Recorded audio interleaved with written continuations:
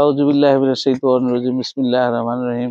প্রিয় দিদি ভাইরা, আমরা সবাই আমরা সবাই চেষ্টা করব আল্লাহ তাল্লাহ আমাদের যদি হেদায়েত করেন, আমরা যেন সবাই আল্লাহ তাল্লাহ দেওয়া সঠিক পথে আমরা চলতে পারি।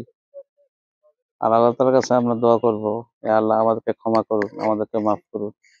আপনি আমাদের অভিভাবক, আমাদের সৎ কর্মশীল বান্দাদের আপনি অন্তর্ভুক্ত করুন, যাদেরকে আপনি পছন্দ করেন।